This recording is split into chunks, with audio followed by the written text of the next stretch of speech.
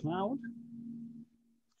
Okay, so today's speaker is uh, Lucas Lacasa, um, who is uh, well known at IFISC. So for many of you, you don't, Lucas doesn't require an introduction, but I'll briefly say a bit anyway. So Lucas got his PhD at the Technical University in Madrid in, in 2009, and then was a postdoc at IFISC um, in, in 2010. Um, and then went again back to Madrid uh, for a few years as assistant professor. And since 2013, he's been at the Queen Mary University of London um, in the mathematics department. Um, and uh, among other things, has, has held an EPSRC um, Early Career Fellowship, a very prestigious award in the, in the UK. And he's currently there a reader. And he's also a visiting researcher at IFISC, and in fact, currently in Palma. Um, so if you want to talk to him after the talk. So in the title for today is Complex Systems and COVID-19. So the screen is yours.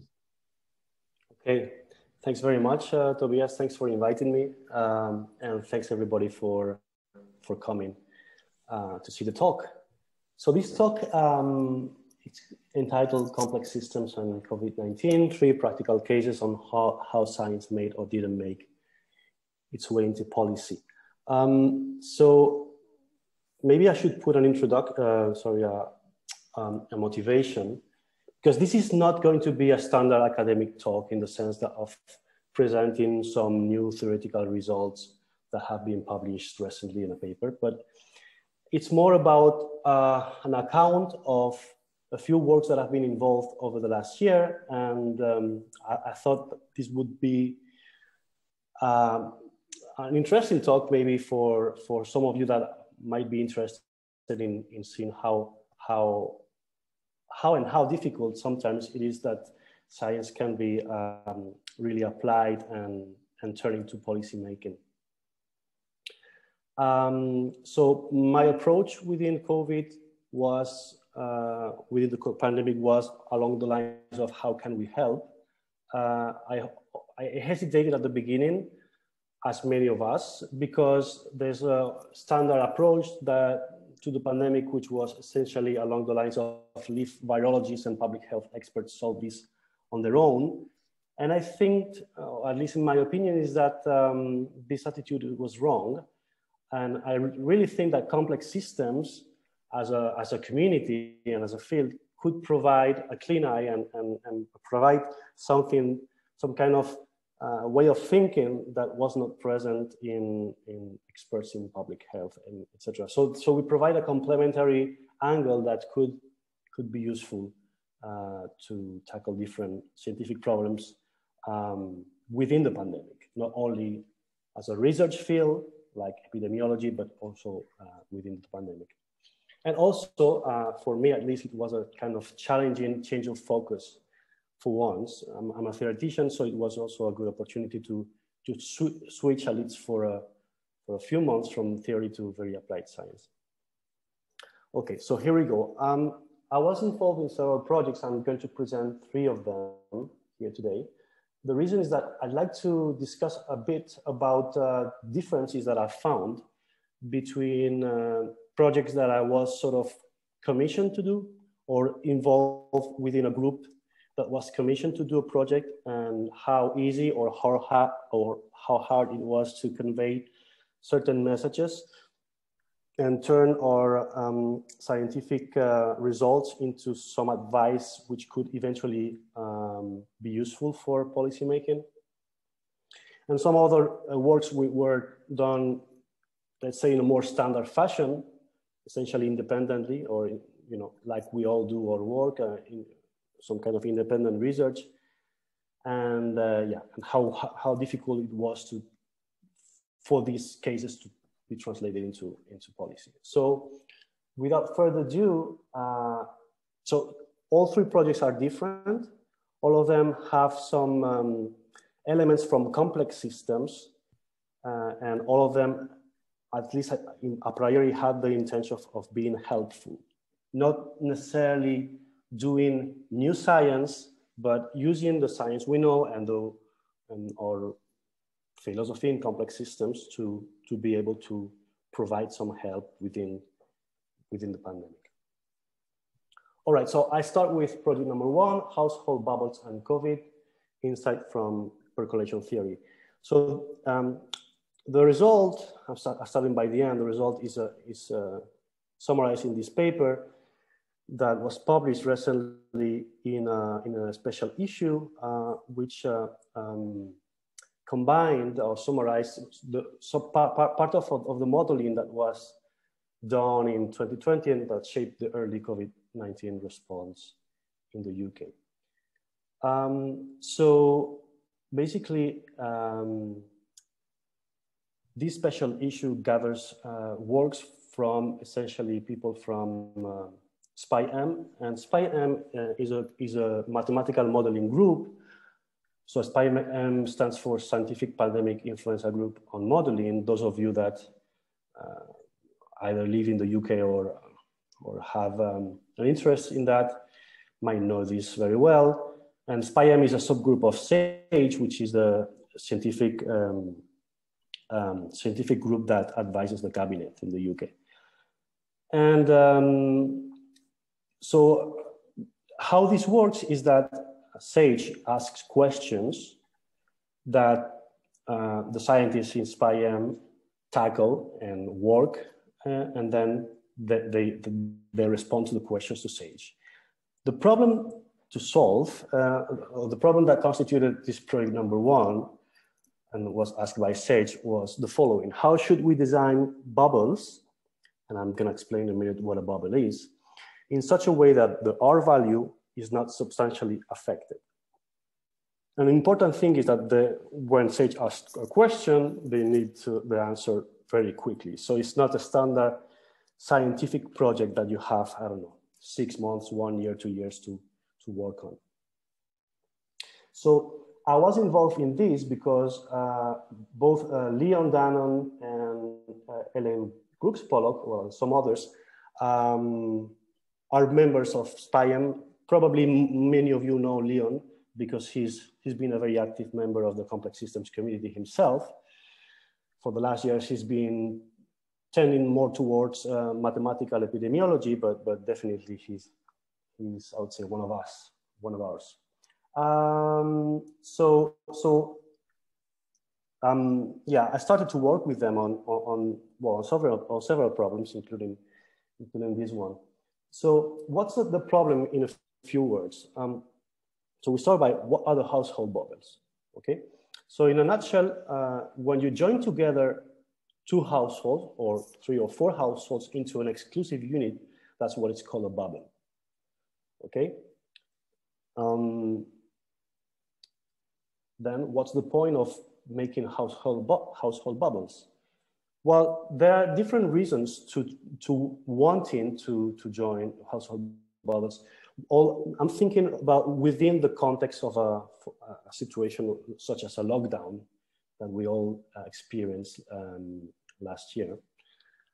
So um, here I'm showing on the, on the right-hand side of the screen a graph that shows the standardized depressive symptom scores within a lockdown. And as you can see, um, li living alone uh, here, sorry? Yeah, living alone here stands very high. Uh, so there are several issues. So lockdown basically affects mental health, okay? And in particular, living alone is one of the, the, the most important ones, the most important factors. Uh, so individual living alone are actually much more affected by, by lockdown, okay? And interestingly, uh, when we look at the composition of household sizes in the UK, uh, and that's the, the distribution of household sizes, we, we could see that many of the household sizes are just uh, uh single, single, single uh, individuals. Okay, so many people living alone, and if living alone is is is a major feature uh, for uh, depression or for mental health problems, then then uh, trying to to you know to solve these issues is really important. So the question then that, that, that was asked is that can we increase social support without massive increase in, in transmission? Okay. In particular, can we um, build bubbles, for instance, taking, taking these people that live alone and forming bubbles with other people such that uh, by doing that, we don't affect, for instance, the, the R value of, uh, of, the, of the epidemic spreading in, in, in the UK.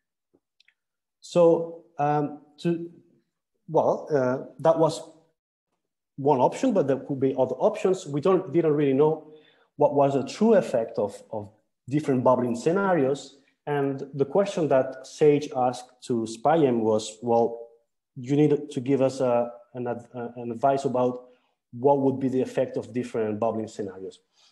And you, you, need, you need to do this kind of quick. So what we thought was that, that percolation theory could really provide a flexible way to do that. And I mean, it's, I don't think I have to uh, explain what percolation theory is in an IFISC seminar, but just let me remind you very quickly that it is the process by which uh, if you have, for instance, a network and you start, sorry, uh, like a bunch of nodes and you start aggregating uh, links, at some point, uh, uh what is called a giant component will emerge. So a, a, finite fraction of all the nodes will be connected. And um, so that, that happens abruptly. There's a phase transition that separates a phase um, subcritical phase where, where, where there's no giant component and a, a supercritical where there's a giant component. And we can use this as a proxy for whether an, an epidemic will, will spread or not. So if, if the structure of the social network is somehow closer to, the, to this than to this, then, then uh, the, essentially the, the R value uh, will be smaller than one effectively.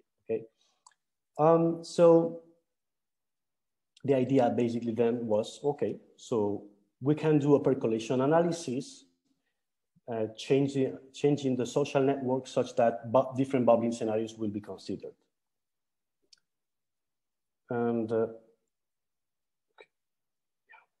that's what we did. So to repeat this, what we did was to build a simple model of UK household social network and analyze percolating properties for different bubbling con configurations. So we had access to data about the household sizes and, and such and such, and therefore we could do the, the problem. So our working idea was that uh, to look at the percolation threshold uh, for this uh, for this system was a proxy for the transition to to uh, to an epidemic going forward.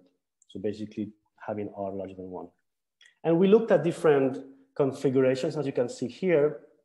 This is a summary of, so I think, I hope it's, it's clear what we did. I'm, I'm, I don't want to go into the details, but basically uh, we have the, the structure of the social network or the household network where each node is a household. Uh, and so there are nodes of different sizes and therefore um, people have contacts within like inter-household according to how big the, the, the households are. And then we check how for different ways of merging households together, like merging households, let's say, of only single individuals, so people living alone, or uh, people or living alone with any kind of household, etc. Um, how the structure of the network is modified uh, in terms of uh, what's the percolation threshold of, of that network. And we found that as compared to, well, yeah, basically here is a, this is the percolation threshold, and that, that means that um, uh, if the percolation threshold is, is very large, so that means that uh, it's, it's kind of uh, it's kind of okay. Um, in terms of an epidemic. If it decreases, it's very easy to, for, a, for an epidemic to transmit. Um, and we can see that there are two scenarios here, the one plus one and the one plus n, which relate to making bubbles, to providing the opportunity of, for people that live alone to make bubbles with either an, other people living alone or with people or with any other kind of household. So for these two uh, kind of bubbling scenarios, the percolation threshold was not really much affected. And that was the basic conclusion that we got from, from that work. So then what we did was to uh, report that, um, that uh, result to SPI-M. So this is a group that, uh, so, I don't know, in SPI-M there's maybe about, I would say, about 50 uh, scientists uh, from the UK. Uh, basically mathematical modelers. And uh, the idea or how SPI, uh, SPI-M works, they work around redundancy and consensus. So basically once we fed these results, the analysis was replicated, although with other approaches by, by other groups. And there are other groups there, uh, so people from Imperial College and the London School, etc.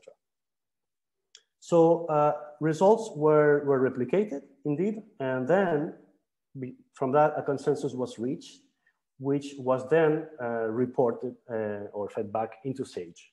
Okay, so the, the idea is that the we didn't provide to SAGE our results, but a consensus of several works that aimed at replicating the same kind of uh, problem or study. So according to what SAGE got, then they fed it into the cabinet uh, and then policy was made. And in this case, uh, in the UK, there was this, this rule about support bubbles, which went uh, public from, I don't know, it was about May 2020 or so. So conclusions from project number one is that uh, a simple complex system concept such as percolation well, simple, at least in, in the sense of very well known by, by complex systems scientists, can be very useful in practice to make quick and flexible assessment of scenarios. So you see, it's no really something different than I would say any PhD student or uh, uh, you know couldn't really do. So implementing some kind of configuration model of networks and doing percolation analysis, but still it can have a practical impact. Uh, but for, the, for that to happen, you, it was clear that there was, they, they needed to have an organizational structure, such as SPI-M in this case. This structure had to be efficient, such as this one, and, and I think it is indeed a quicker, flexible modeling arm. Okay, uh, we change gears now. And sorry, may yeah. I interrupt you, or do you prefer questions at the end? Uh, however you want. You can... No, I just wanted to to ask, what do you mean by so a policy was implemented, meaning that several uh, households or so, solo households can interact with others, but was this uh, related to the real structure? So, so who decided to to which household can the the solo person to connect? Is is left to him or her, or, or is? Yes. No. Yes. Exactly. Um, um, the the the the policy was made. It was such that uh, any person living on their own can choose a bubble, can select to either uh, form a bubble with a friend or with another household. Uh, yeah, yeah, exactly. So, so there wasn't any additional structure imposed into that. Okay. And then another question, the, the structure of the network you, you start with, the, the network of contacts, is, there, is, you have mentioned some configurational model, but is, is, a, is a model or did you use measured social structure? No, no, it's a model. Um, uh, at least we didn't have access to that kind of data. Um, we, we had access to statistics about uh, household sizes and, and we build uh, using configuration model, we build household networks accordingly. So we didn't impose any additional uh, criteria like specific community structure in the network or anything of that sort. It was actually quite, quite basic. And I'm not sure if other um, groups, uh, probably they, they, they made more sophisticated models, either, either realistic models of uh, real social structure or, or at least, I don't know, maybe generative models, but with, with, more, with more structure. Uh, um, but essentially, there is, I think, the, the essentially the, the, what we got is that the results were qualitatively similar, meaning that um, people living alone, if they bubble with someone else, um, this doesn't have a measurable impact in practice on the R value of the whole country.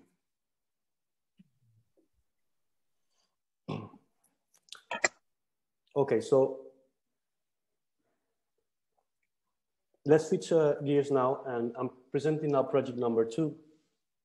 This was a project uh, I was involved um, on the design and validation of the Spanish digital contact tracing app, Radar COVID. And the results of my, of the part I was involved, which was developing and uh, yeah, designing and measuring this, this pilot that assessed uh, whether the app was working or not, were published um, here in this paper several months ago. So um, Radar COVID, uh, the contact tracing, the Spanish contact tracing app was a project which was led by the Secretary, Secretary of State of Digitalization. And their wish list and their conditions was, was the following. So they, they wanted to build an app which by, by, by design was privacy preserving. And in particular, they, they needed to, they wanted to implement something similar to what is called the DP3T protocol, developed by, by Troncoso and collaborators at EPFL.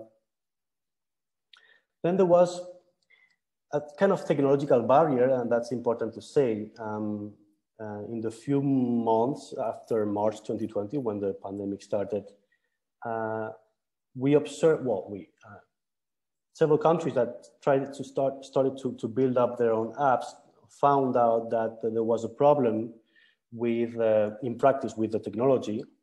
Uh, and then uh, Apple and Google joined forces and developed their so-called exposure notification protocol. It's something which is embedded directly in the operating system of the, of the smartphone.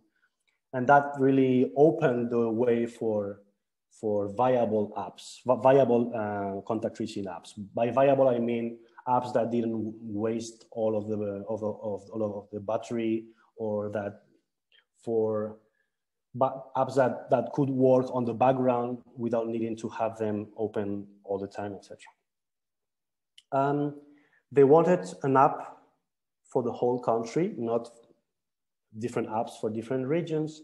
And they wanted to app to be interoperable meaning that uh, uh, it, should be able, this app should be able to interact and, and, and with, with other apps from other countries.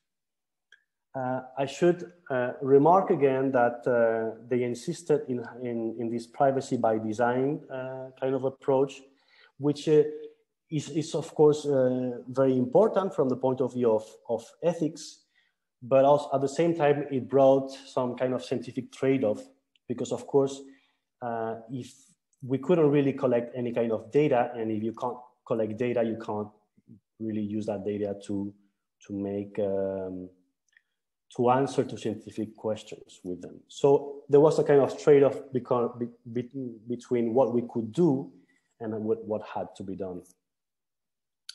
Uh, another requirements from a more public health perspective, we needed the app uh, to be uh, to have a short turnaround time, and that was found to be very important from a, an epidemiologically point, point of view. The fact that that the time between a person finding out that is has been is positive and and uh, their contacts to be informed uh, had to be as, as small as possible for for for for this kind of technology to make some sense.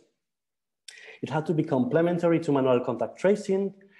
Um, and importantly, it, it, had to be, or it, there was a potential to be a tool to detect contacts between strangers. So, so of course, manual contact tracing by, by, by default cannot really find those close contacts that can happen, for instance, between people that share uh, a bus together or they are close, very close in the gym or in a restaurant. And so, so this kind of um, transmission that can happen there could a priori be, be caught, caught by, by this kind of app, but not by manual tracing. And, and that was something we, we needed to test.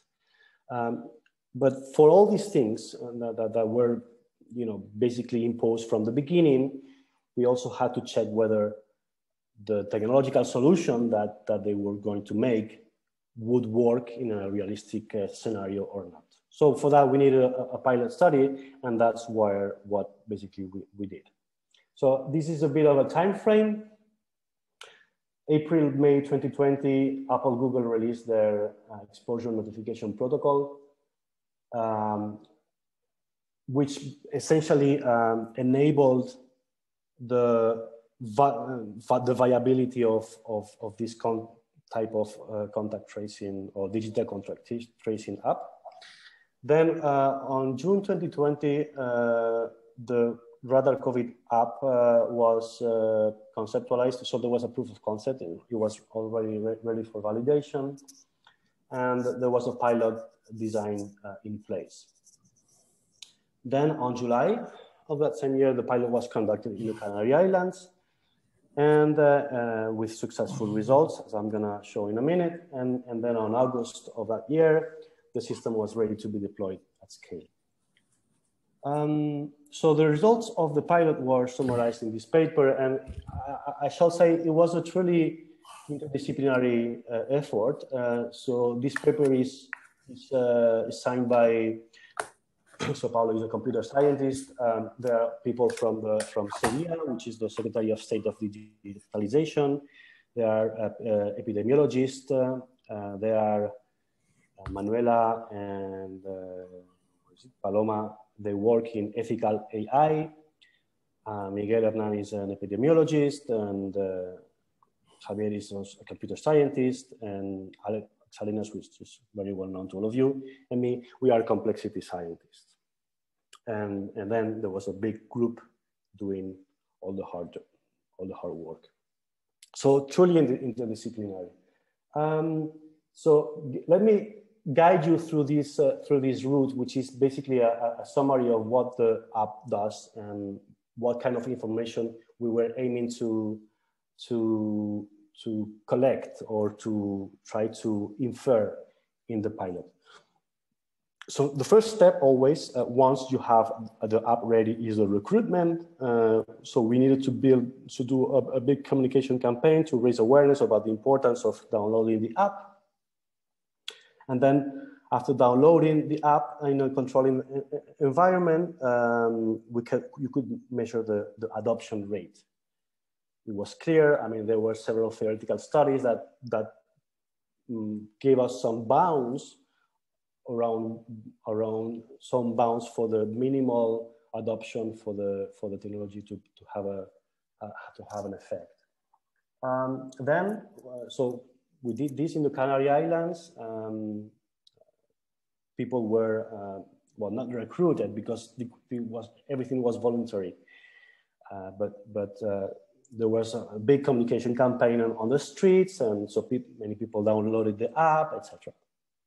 So people started to interact freely. Uh, and then eventually uh, we gave to a group of uh, randomly chosen people, we sent them as like a simulated infection. We simulated the fact that, that they were infected and we gave them the codes that then they later had to be had to introduce in their in the app to notify or to trigger the, the notifications of those close contacts. I didn't say that while people interacted freely uh, for, a, for a few days, the, the, the, smartphones were sort of seeing each other uh, via Bluetooth, and, and therefore uh, there was daily a number of suspected um, close contacts, or, or so-called matches, that were build, getting built in, in a backend such that when eventually one person introduce a code saying, oh, I got a positive PCR, then all those people that were, that had been in close contact within a few days, got their notifications saying mm, you have to go to to to a call center or a point of care because uh, someone that was close to you um, has been infected. So then we could also check the compliance to the to the app by by evaluating how many of those people that received, you know, these simulated codes or those, those codes uh, that we gave to the people that to which we were simulating the infection, the infection um, how many of those actually introduced that code in the app. And by doing that, after that, we could measure how many, um, what we could measure is was on average, how many of those, how many notifications each of those codes uh, triggered. So we could calculate an estimation of, on average, how many notifications or how many close contacts the app can, can detect. And, there's, and then a few other, few other uh, would say less important um, criteria. And the summary of, the, of our results that, the, that we measure in the experiment are here. So we found that at least 33% of the, people of the population adopted to, te to technology. Potentially, that was a conservative estimation. But it's, it's also true that the communication campaign that was made in the, in the pilot was very strong. Um, compliance was high. Uh, the turnaround time kind was, was, was about 2.35 days between a simulated index case introduces a code in the app and the alerted close contacts follow up with the call center. So that's actually quite good. Um, the follow-up, so the, the percentage of people that after receiving a notification actually then went to the designated point of care was very small, was just 10%. But we couldn't really uh, infer whether that was because this was just a pilot. It wasn't uh, actually real life and real infections. And uh, the two, I guess, more important with, with the adoption, the more important results is that the overall detection was good. Uh, the app could trace about 6.3 close contacts per index case, which was about twice as many contacts as manual contact tracers in the best case scenario could, could trace on average. And another interesting result is this about hidden detection. And we found that between 23 and 39% of exposed close contacts were uh, uh, strangers to the index case, pointing to, to the possibility of the app actually revealing those close contacts or potential transmissions happening between people that um, that by definition couldn't be traced manually. Okay, people uh, I know, sharing a, a, being very close in, in a bar while sharing a beer or being in the gym together or in a restaurant or in a concert or whatever, or in the bus or in the underground. Okay, so the results of the pilot were successful, I guess. Um, that was the main message. But there was a key aspect, which was that um, the adoption needed to be high enough for this to work because at the end of the day, this is a peer-to-peer technology. For, for, uh, for the app to work, both the person that is being infected and, the, and, its, and their close contacts, they both have to have the app. That's what is called uh, peer-to-peer. If, if, if they don't have the app, then they, this is all for nothing. So adoption was really key. And um, while it was a successful pilot, as we, I think is quite well known, in Spain, uh, uh, at least in Spain, not in other countries, but in Spain, uh, there was a poor adoption of the app at the national deployment scale. And here I'm showing you the statistics of the app downloads over time. Um, so that was August 2020 when the app was released. Um, something that has to be said, and I, that's my personal opinion, of course, it's, I'm, I'm, I'm, I'm an independent researcher, is that uh, there was a problem of engagement from both national and regional governments. that's at least that's my perception. Why? Uh, first of all, a very important aspect of the app for the app to work is that whenever you are infected and you go to the doctor and you get a PCR test and it comes positive, that doctor has to give you a code, which is the, the, the information you have to write down in your in the app and that code triggers then the, the notifications to, to the rest of the people that have the, the app. But it turns out that um, the health uh, systems at the autonomous communities were not actually releasing any codes, even if, if the app was already ready and, and deployed. And at the same time, uh, at the national level, the health department was not really engaging with the, with the technology itself. So as a, I don't know if as a consequence, or at least it is correlated with that, um, there was not much interest by, by the population on the app and therefore besides a quick uh, uh, an important uh, first step then the the interest was lost very quickly. So if if you if you know that if you go to the doctor no one will will will give you a code why should we you you download the app? If on top of that there, there is infodemics around whether this app was privacy um, threatening you or, or, something of the like, then, then this is even, even worse. So our paper got out about in, in January or so with the final results all po mm, polished and, and, published, but still there was no promotion on, on the usefulness of the technology.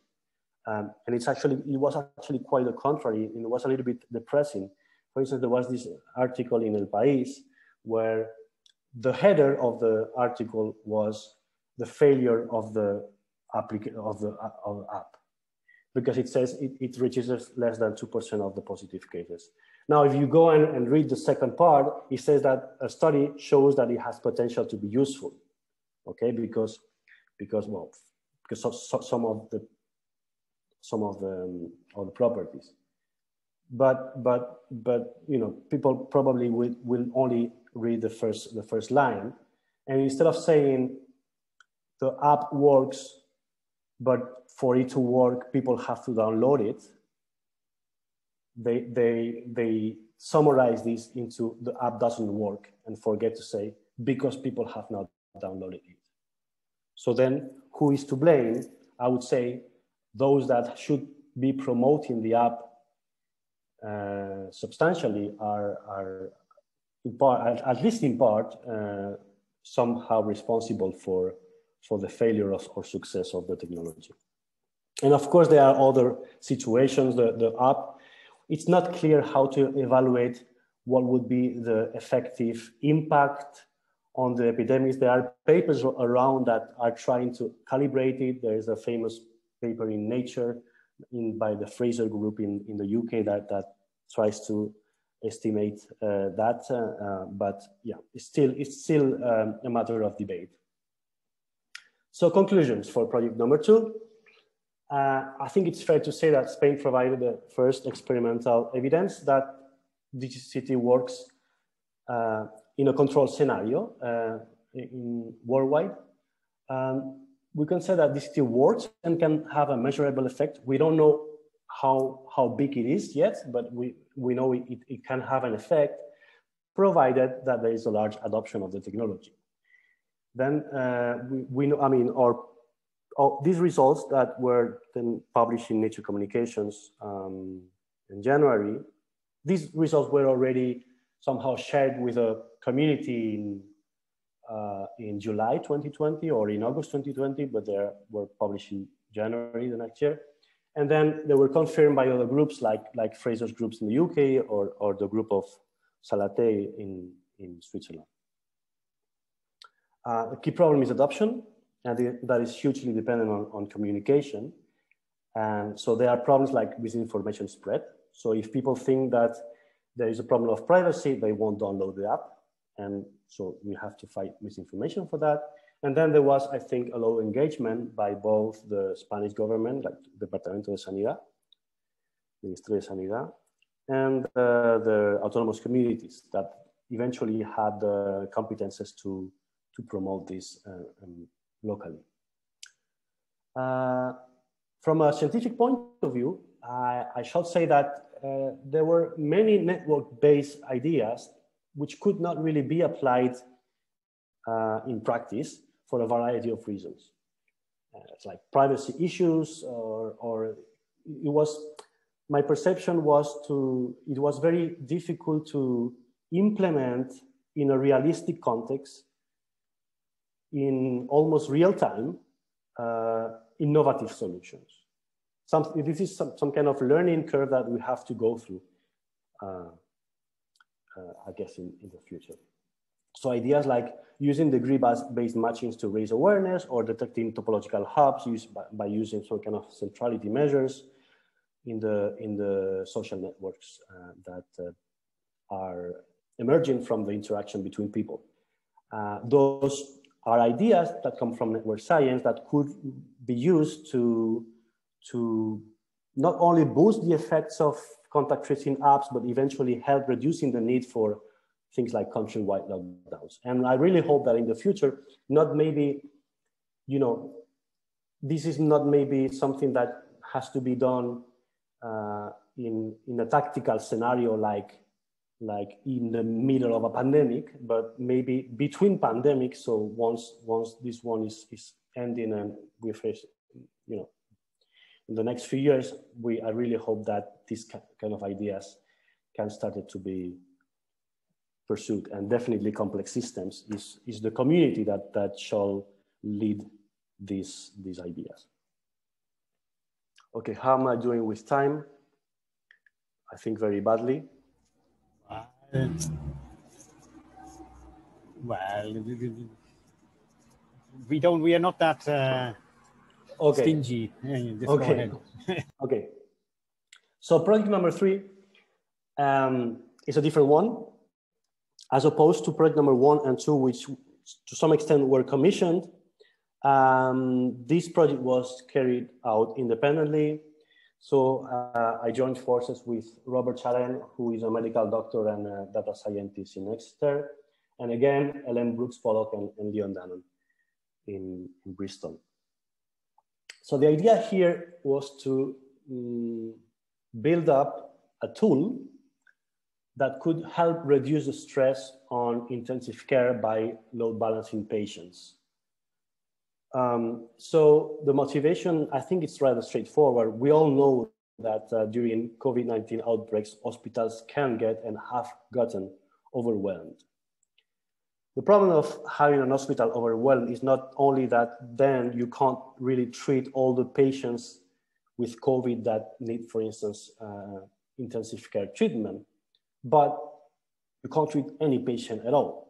So if you have things like, um, I don't know, people that need major surgeries, they can't really go into surgery because uh, they are already using surgeries to populate them with intensive care patients. So that leads to the collapse of the whole health system and therefore to a cascade of, of deaths. Um, and we've seen this on the news all on and on. So I'm not going to go into into more explanation there.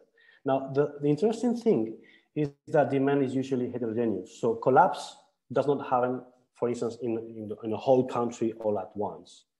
Um, and this is this is an example in the UK where can, you can you can see that um, uh, there is some kind of heterogeneity. Now, this allows to transfer patients, right?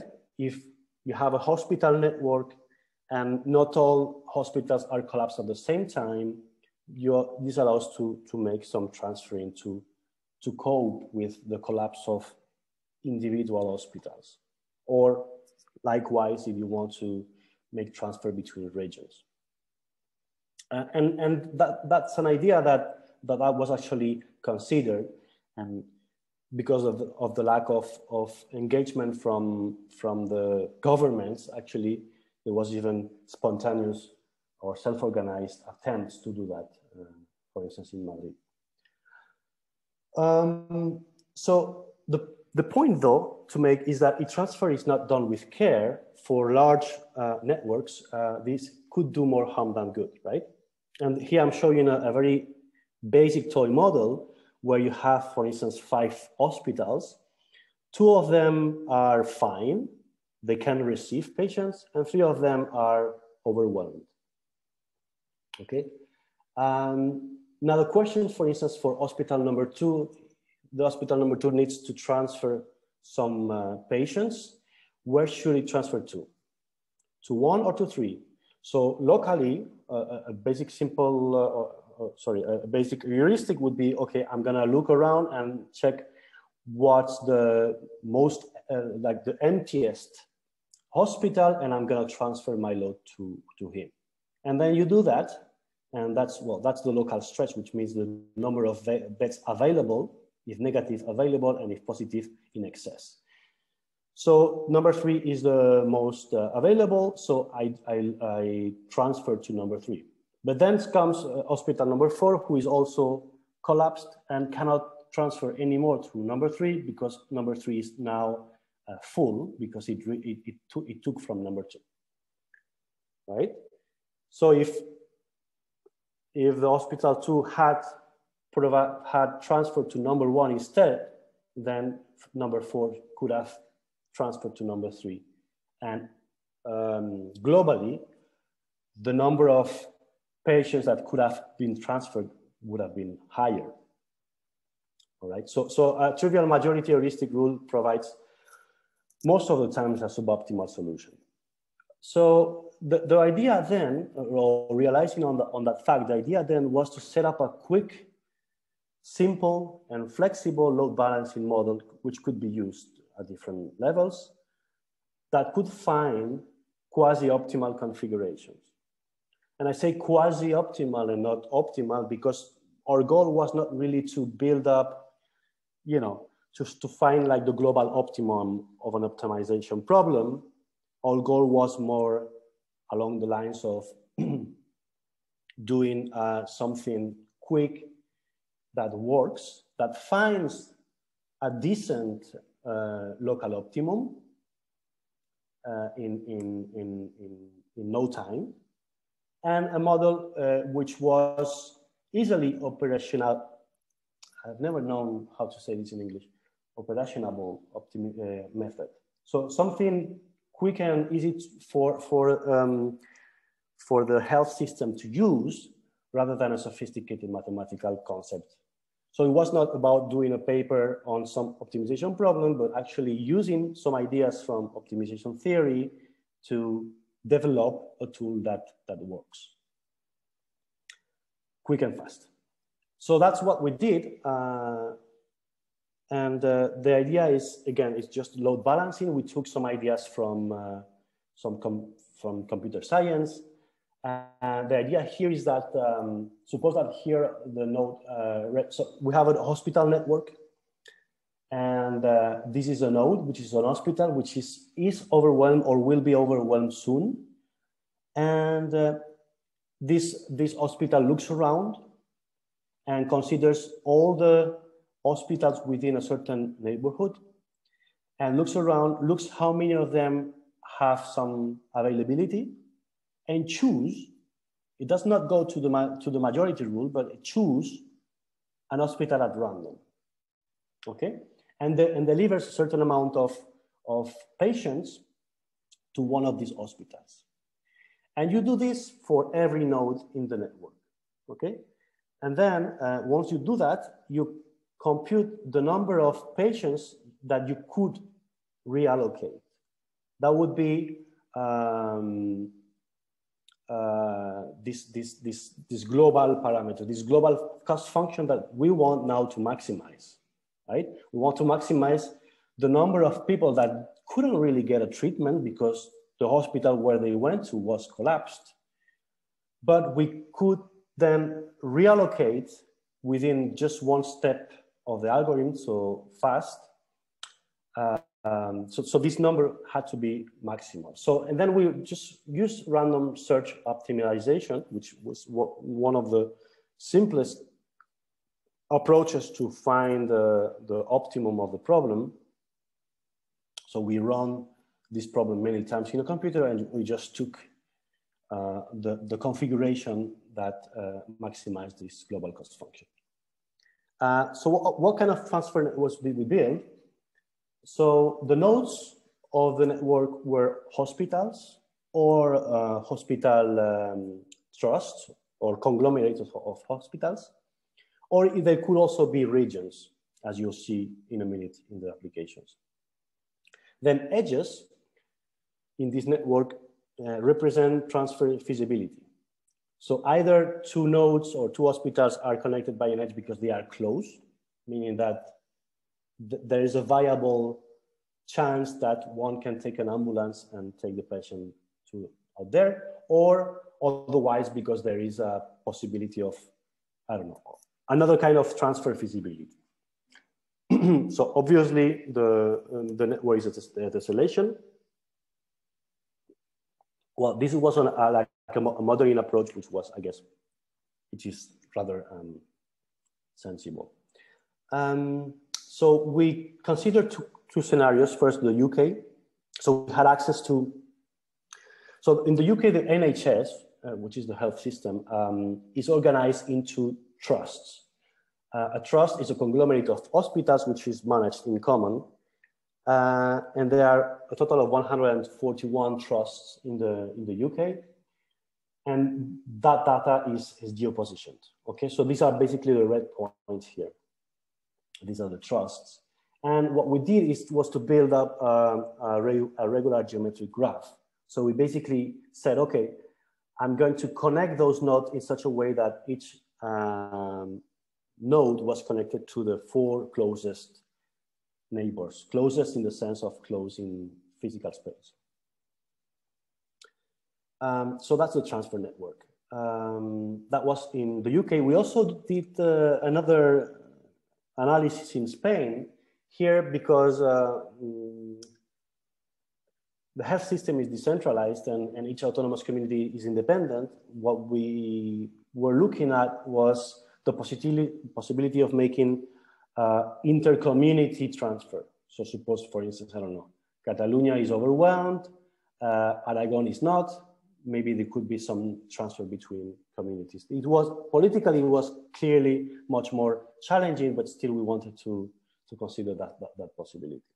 So we built two types of networks here. First, a contact network, where nodes are the autonomous communities and two nodes are linked if the two, each, each of the communities share a border uh, or a fully connected network. Assuming that, for instance, one could share uh, or transfer a patient from any two communities by using, for instance, the train network. Uh, as you can see, I'm, I'm living outside the Balearic Islands and also the Canary Islands because they are islands and, and the transfer was physically more challenging, unfortunately but still there wasn't so many cases here so. Um, so very quickly, um, running out of time now, the results. Um, so the net reduction here, this is the, basically the number of ICU patients that could be re relocated. This is a number that depended on the, of course, on the on the pressure of each trust. So if everybody, every trust was um, overwhelmed, there was nothing to share if if uh, the trust or the, the nodes were were empty, there was also nothing to share. But then there is a in the middle there's a maximum, and we could reallocate up to 1,000 beds or patients per step of the algorithm. Um, so this is a, um, a, a, spatial representation so that you, you, maybe can spot the silhouette of the UK. So here the nodes are the trusts geopositioned. The size of the nodes are, are the, the, the baseline capacity of the, of the trust, basically the number of ICU beds in a standard, in a standard situation, pre-pandemic. And the color is by the 1st of April, the, their status. So whether they, they were, they have some availability or whether they were overwhelmed, etc. So greener, better, uh, uh, darker, uh, worse in terms of being overwhelmed. So that was before load sharing, and then it was after load sharing. This is the same for the 4th of April. Things were getting worse and worse in the UK. as you might remember, uh, and that was after. So you, as you can see, even if load sharing does not require any kind of um, surge of the capacity of any hospital, it only looks around, it only considers how to transfer locally in such a way that globally the, the nodes are less overwhelmed. So, so we could do a, I would say a rather decent job in doing that. So this is a zoom around, this is around London. For the 4th of April, uh, there were, well, many trusts and several of them were um, actually almost overwhelmed. And then after load sharing, the situation would have been very, very good.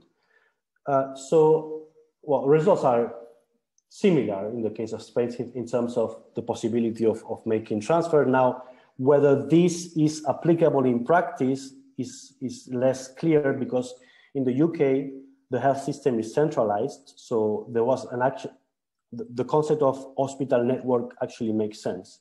Whereas in Spain, since each autonomous community has its own um, health system, might make sense to um, load share within each autonomous community, but uh, not intra, uh, sorry, inter-community. But then again, we didn't have data from each autonomous community to be able to build up these networks. Uh, conclusions for this project. Um, we developed very quickly a, a simple and flexible load balancing model. Um, we could redistribute with this um, with this uh, model up to 1,000 patients per iteration, which uh, is kind of good because you have to remember that these are ICU patients and everyone that enters into the ICU, they know they have the 50-50 chance of, of surviving. But if they need an ICU and they, and they don't get it, get any, they, they have a 100% chance of, of, of dying.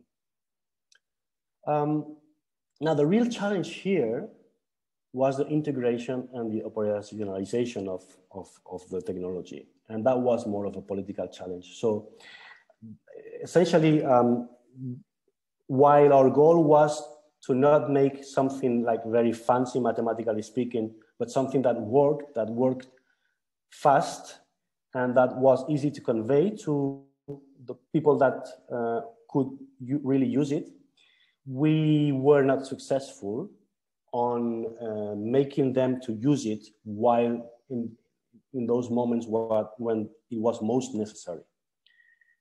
Um, they perceive this as too complicated. Um, yeah, I guess I, I don't have a, a, clear reason why, but the perception was they were interested, but then not interested, but then it was almost if they couldn't really change the, the, the way they do things in so, so such small time, uh, amount of time. Um, yeah, so then just some final conclusions. I've presented uh, three projects, three different tasks, three different um, approaches of complex systems to, to trying to provide some, some help in, within the pandemic with different degrees of success. Um, from my experience, I could say that doing science, in particular complexity science, which can inform policy making, um, it is indeed possible, and we were able to do that, but there needs to be a structure in place. There needs to be already from the beginning uh, something, a communication channel. It's not like we do the research in the university, we get a result, and then the ministers will listen to you uh, and, and take your advice on board it's not working like that. At least in my experience, it doesn't work like that. That, that communication channel has to be in place already for it to work. Um, it's also important to say, I've mentioned the, the case of SPI-M, which is this uh, modeling arm in the UK government. Uh, and uh, it's important to say that that advising group at the same time relies on their network of scientists. So each of the people in, in SPI-M, for instance, is a, is a, is a leading expert in uh, different aspects of mathematical epidemiology, for instance, but they don't always work uh, uh, together to find a solution. So each of them have their own network, their own research group, for instance, uh, and their network of scientists where many of, much of that work is done, and then that work is put together in those SPI-M, SPI-M meetings. Okay, so that's something important to, to have in, in mind. Um, I would say that uh, this is this um, structure is already in place in uh, in the UK. Uh, I'm, I'm, I will be neutral with regard to the question of what politics do with the kind of information they get from their advising groups. So that's not our responsibility as scientists. As scientists, we only have the responsibility of presenting the science and giving the, the, the, the, advice from a scientific point of view, but, but not from a political point of view. Um, but I think, uh, yeah, I think this works uh, and this structure should be replicated somehow. And in particular, for instance, in Spain, we, we need to set up a countrywide center to both work, uh, well, not only tactically, but also pre-pandemically Okay, so many of the questions, for instance, that were asked by SAGE to SPI-M during the pandemic, or not many, but at least some of them were questions that could very well be approached before the pandemic or between this pandemic and the next pandemic. So that's something that, that we should really think about, or at least those people that are in the positions of being able to set up these things should think about. And this countrywide center or this institute or this um, committee or this uh, kind of SPI-M or etc. should be a quick communication channel. So we should be able to implement such structure where the politicians ask the questions, there is an organism in place that translate those questions into a, into a form of question that is scientifically, that we are scientifically able to respond, then the scientists do the science, and then this is fed back into, into the policymakers. And then finally, I, I want to reiterate that I think, at least in my experience, that that was the case, that com complex systems can indeed provide helpful and out-of-the-box solutions for real-time assessment and also for, for not real-time, but, but uh, between pandemics uh, interventions which are complementary to classical uh, mathematical modeling and public health expertise. And yeah, that's it. So thanks very much for listening. I'm sorry I went too long. Okay, thank you. It's a very nice talk. It's very different. Um, are there any questions or comments? Anything anybody would like to say? Hi, I I would like to ask uh, Lucas, uh, what about the, the implementation of radar COVID or similar applications in other countries? So in Spain has not really implemented by, by enough number of people. What about other countries? Um, yeah, so I know, for instance, that in the UK, because the health system is centralized, um, the very first, well, the UK was a massive failure. Uh, actually, in Spain, the, the application, the a successful one was developed much, much before the UK. So that then in the UK, they had a second iteration and that second iteration was working because they, they used the, um, the Apple and Google protocol, etc. And then what I know is about the communication. In the UK, the very first day when the app was available, every UK citizen received in their smartphone a message from the NHS saying, please download this app. Please do so to save lives. And the very first day, all the media, journals, all of them had in the, in the, in the cover the promotion of the app. And as a result, I think only during the first week of, of, the, of the release of the app, there were like over 12 million downloads of the, of the app. Uh, now, other countries have suffered uh, similar situations like Spain in terms of adoption. Uh, I think adoption in Germany is, is larger than us. Then in Switzerland is about the same. So there's, I mean, in Europe, there's no massive success in terms of, of adoption. Probably because um, Europe is seen, I mean, in Europe, um, freedom, uh, I would say not very well understood concept of freedom, maybe, is, is, is, um, is very important and, and probably many people consider that it is their, their choice to not download the app. And, and we, we very well respect that.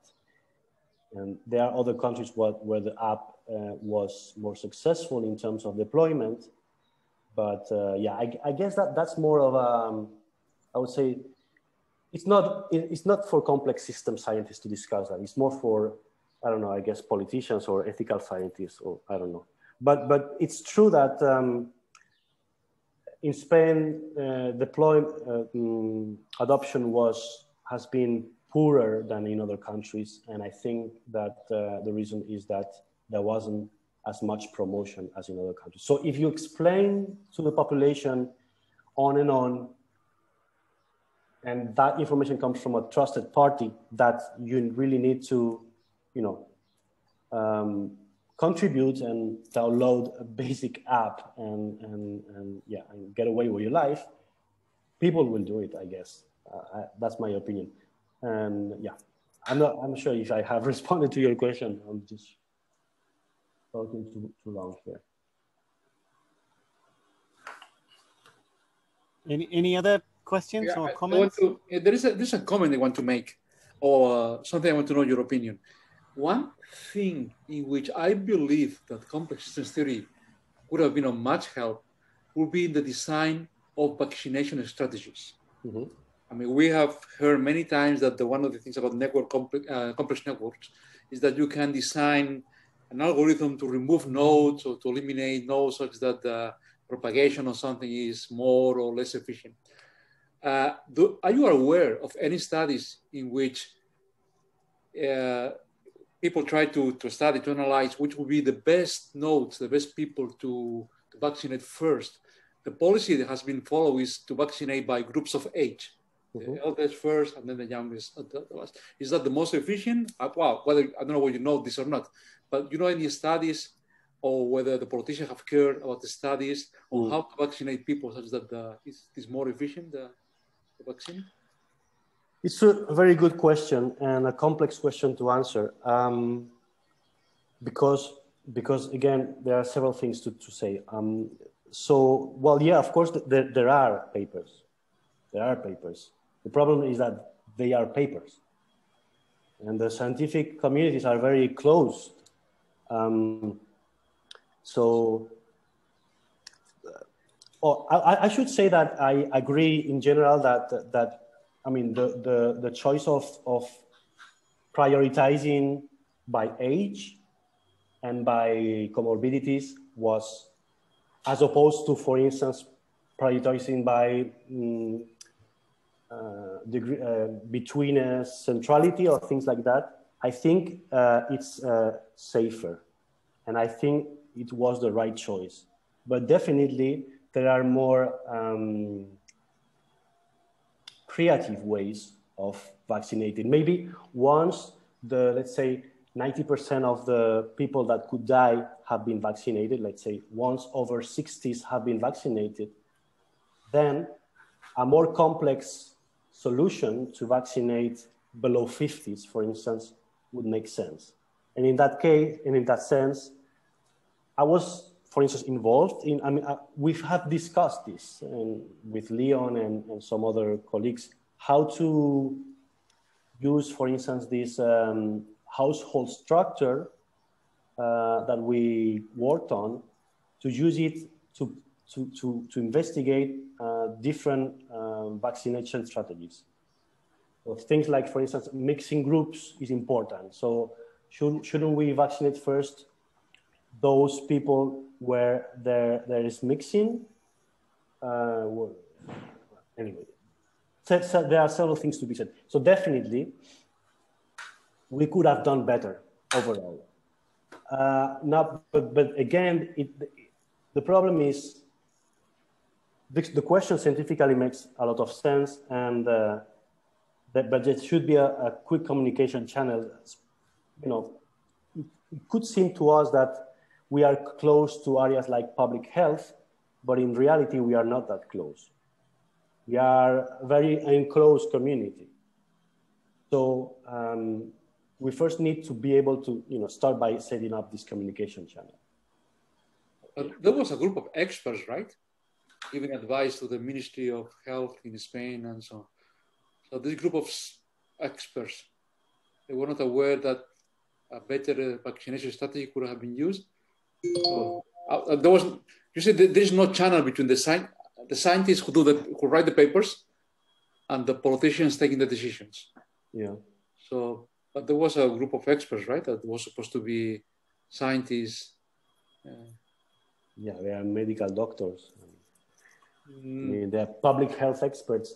I, I, I don't want to say too much because I, I'm, I'm not aware of everything. I'm, my, in my experience, for instance, simple concepts like percolation theory, which are very well like intuitive to us, those are not uh, so obvious to things like public health, uh, public health scientists, for instance. So imagine the relation between, I don't know, uh, vaccination strategies in, in, in, complex networks and uh, the area, the area of vaccinology. So there is a big, if there is a scientific gap, imagine in, in, in, in terms of, you know, a, a global pandemic where the, you know, the, the solutions tend to be more conservative. There's not much room for uh, innovative solutions. And if there is room, it is within this pre-settled structure where, for instance, if Sage asks to SPI-M, SPI-M can find some solutions, and then there is a, um, like a chain, a chain of, of, of uh, where the communication can be fed.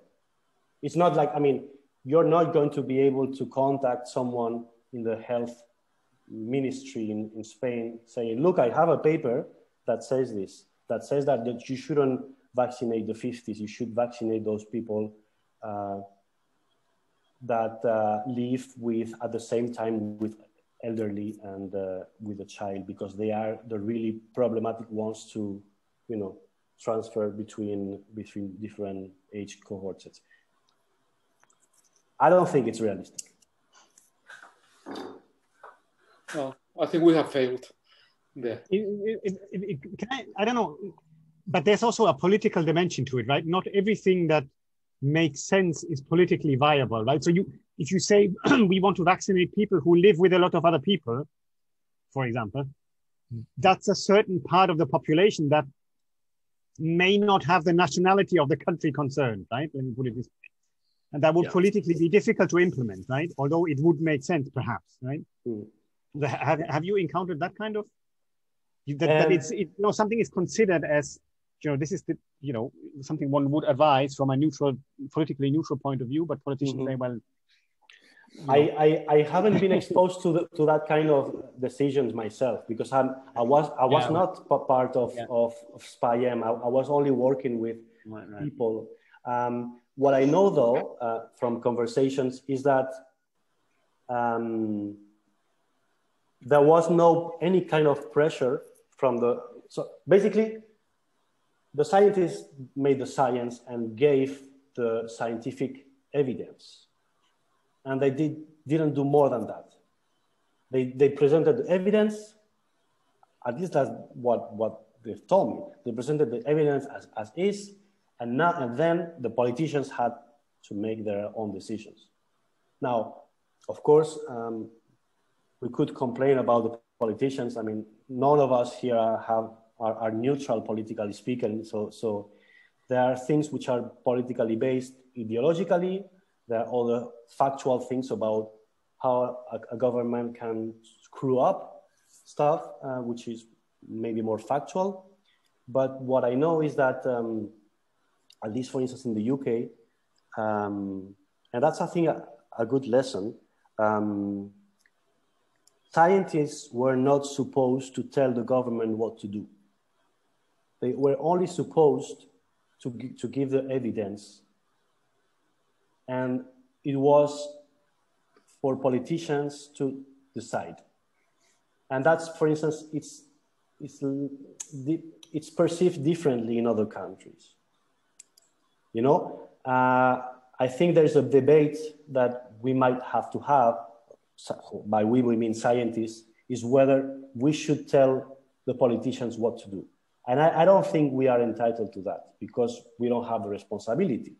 We only have, we think we have the facts and, and, and, and, and, and um, yeah, to tools to, to decide what is wise, but eventually we only have that based on our models and assumptions.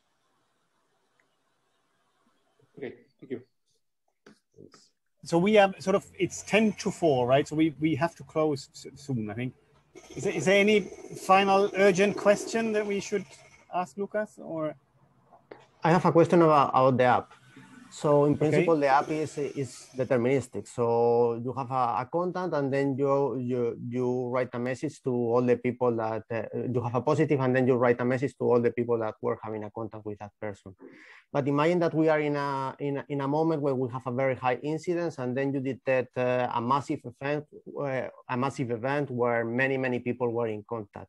So wouldn't be helpful to have some stoch stochasticity there to like uh, tell some people randomly in, in these massive events to go to take a test?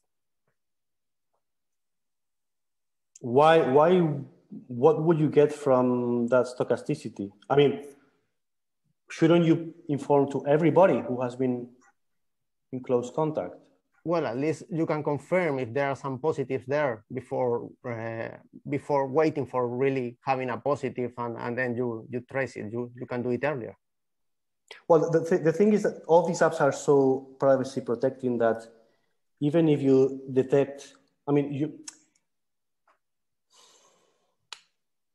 only the people that receive the information they have been exposed will know that so there's no like big eye saying, oh, there has been, you know, a breakout of, I don't know, like, like it happened in Mallorca, like 2000, 2000 people. Only those 2000 people will know about that.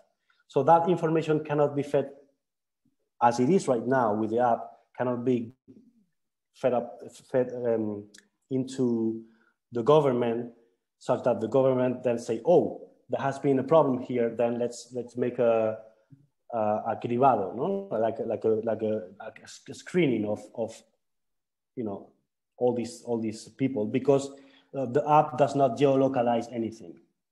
So you yeah, can't really. You don't need to do in principle. So you have a, you observe an event where you observe 300 people having uh, 50 contacts in a day, and then you, you say, oh yeah, this is there, there is something weird here. So yeah, but but you, the thing is, start like this. The thing is that you don't observe that.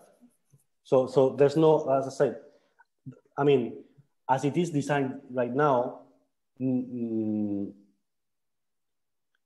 it's only the users that get the message that, that learn they have been positive. There's no general server where all this information is collected.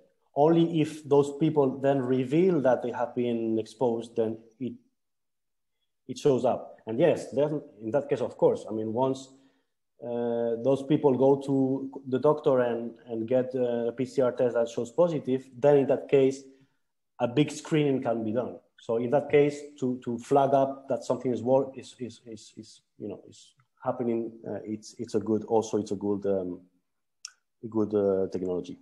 So that, that means that you cannot measure. Sorry, sorry, sorry, but, but, but we have we have to close. I, am sorry, but it, it, we have. you can, but you can you can speak to Lucas separately, maybe, if, okay. if you don't mind, because we are it's close to four, and maybe some people have other things at four and they need a break. um, okay, so let's thank Lucas again, and uh, anybody who would like to speak to Lucas, he, he's around, so he, you can you can find him um, in office 103B, I believe. Um, Uh, okay, so thank you again. Thanks everybody for coming, and see you uh, see you next week. Thank you very much. Thank Bye bye. Bye bye. you. Bye. Thank you.